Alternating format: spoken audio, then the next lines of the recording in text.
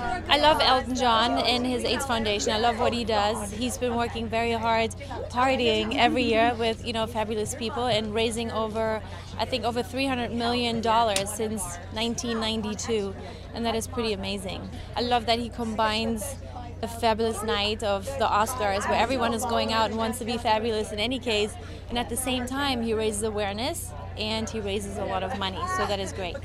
I think people love Elton John, and I think when Elton John calls, you show up. Heidi Klum came under fire for her Oscar night digs when she stepped out at Sir Elton John's annual AIDS fundraiser. And she wasn't the only one. A very pregnant Kim Kardashian chose not to stop for cameras on her way into the party as well.